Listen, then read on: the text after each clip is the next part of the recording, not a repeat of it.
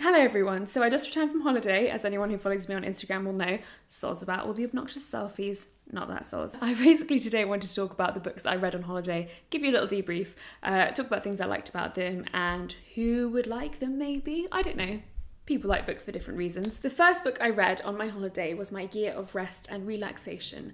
Rewinding for a moment, my criteria for a holiday read is usually twofold. One, paperback because I cover them in sun cream and sometimes they fall in the pool and they get bent and covered in sand and that's that's much easier to deal with when it's a paperback. The second part of that is it's a book that I've been wanting to read for ages but for whatever reason haven't gotten around to it. Usually it's because I'm just busy and I haven't had a chance. It's also very much part of my pre-holiday ritual to go and pick out the books that I'm going to read on my holiday, whether those are books I already own that are kind of on my little TBR shelf here um, or those are books that I've gone to the charity shop or a bookshop to buy. This was one that I'd been meaning to read for ages and had heard so many people recommending it to me, and so it was a surefire contender. It is a book about depression, among other things, and extreme isolation. Someone who is very much in the throes of grief but in denial, and who is wrestling with their trauma but doesn't really know what shape it's taking, so instead takes a lot of pills and goes to sleep a lot.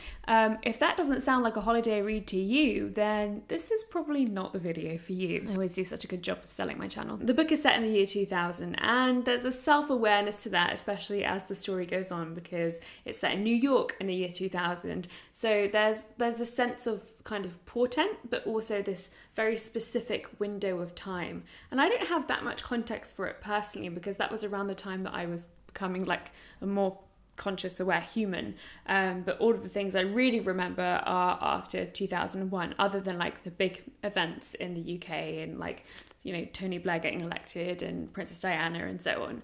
Um, so it's interesting to have this like 20 something perspective. I think she's 26 in this in New York in the year 2000 and trying to fit in all the context that I know from that, but also place it with the awareness that this big thing is going to happen. The relationship dynamics in this are fascinating and so brilliantly written. There's a boyfriend who treats her pretty terribly, and there's also a best friend figure who she treats absolutely horrifically. In some ways, it made me think of like the story of Blair Waldorf, for example, and how she would have actually reacted to all the terrible things that happened to her. Like, what would that actually have resulted in? I had a lot of empathy for the narrator, even and especially as she was doing all of these, like, really terrible things um, to someone around her who's trying to help her. There were a lot of things in it that really resonated with me um, about grief, about depression as the isolating force, about retreating and kind of shutting yourself off from the world and, and and trying to find different ways in which you can control things, but while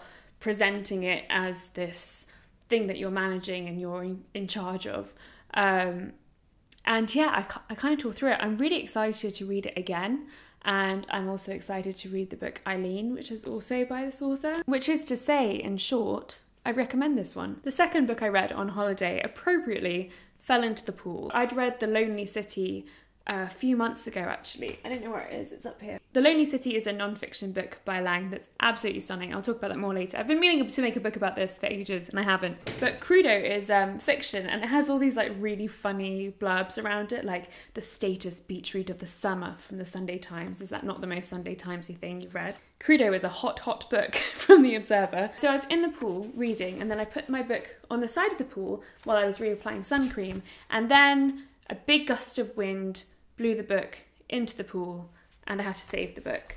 And I hadn't finished the book yet, but it did uh, it did dry fine. See, it all works out. Books are really hardy like that. Anyway, it's funny to me that this little blurb calls it the status beach read of the summer because I imagine a lot of people picking up because of that and then being quite confused. It has a really strong narrative voice, but it is very narrative heavy. Like there's not loads of dialogue in the book, and it really reminded me a lot of both Rachel Cusk, who wrote Outline, and especially Outline specifically, and also Ali Smith, a lot. So if you like those authors, then this might be one for you. There's an interesting kind of dance from the very first page between first and third person. There's also a lot of references and sort of intertextuality, and there's actually a list of all the materials that have been referenced at the back of it, including tweets and things like that. But I give those comparisons of those other authors, of Ali Smith and of uh, Rachel Cusk, because it feels like both the narrator and the author are wrestling with this idea of how do you make in the present, how do you um,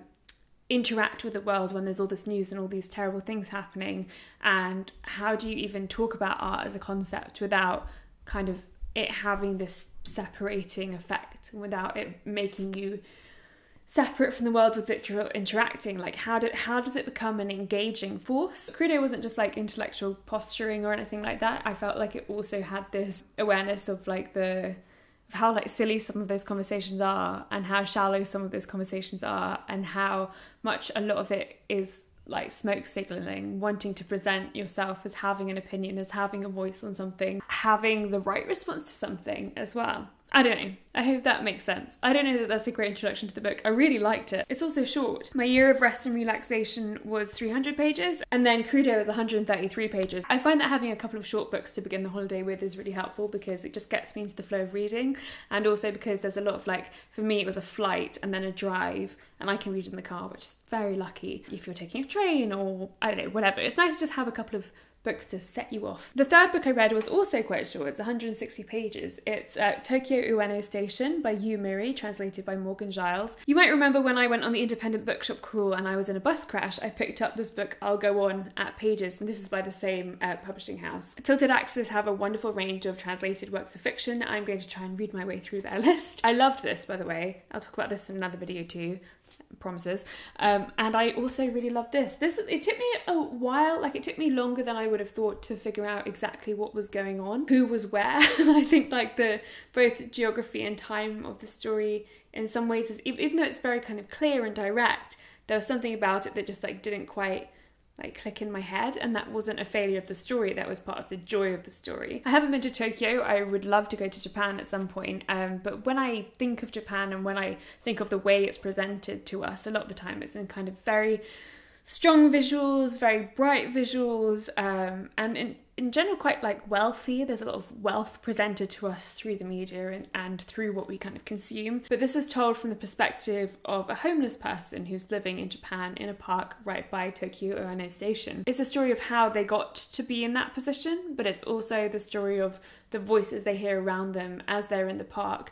And it's extremely contemporary, like it builds right into the present day, but also goes back and kind of shows that context for the space, not just for the individuals. Really loved it. I read this very quickly. I'm already thinking about reading it again. And as I said, I'd like to read more titles from Tilted Axis because um, I've just been really like happy with the two that I read. I really like fiction that's about place and I like fiction that's about urban environment seen through a different lens. That's why for one reason I loved The Lonely City by Olivia Laing.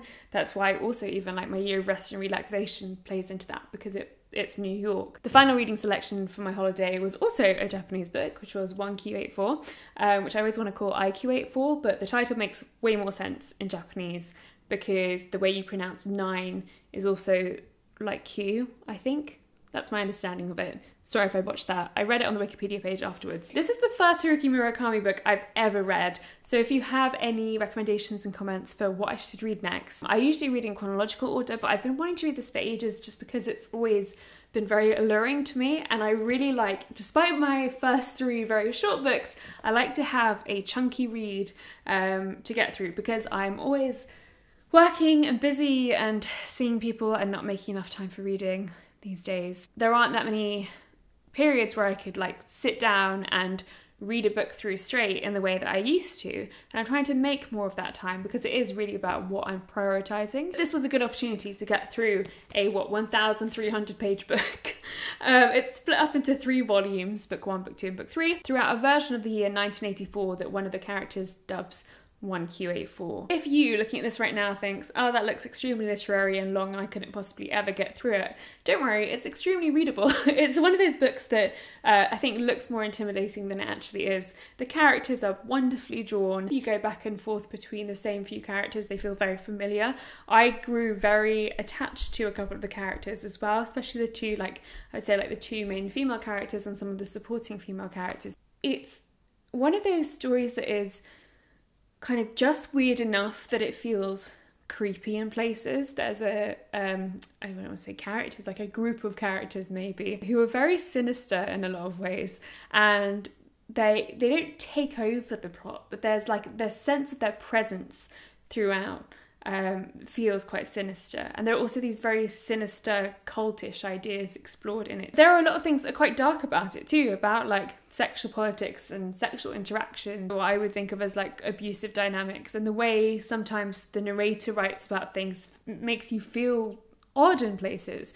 But there's also a lot about purpose and pleasure and connection and those things that feel very otherworldly that you feel and you feel very strongly, um, but that are in fact so human and so familiar to many of us. Prioritizing reading on my holiday was really helpful for me because I was also considering like well, maybe I can make the most of it as writing time or develop other projects at that time or even like bring my laptop and edit all the videos that I've filmed and haven't really gotten around to doing anything with like a year old at this point but instead, I decided to prioritize reading, and I'm I'm I'm glad I did. And I felt like all of the books were strangely connected. Like the narrative voice from one would remind me of the next one. Thoughts from one would take me to the next one. I'm now reading Slaughterhouse Five for the first time. I've never read any Kurt Vonnegut.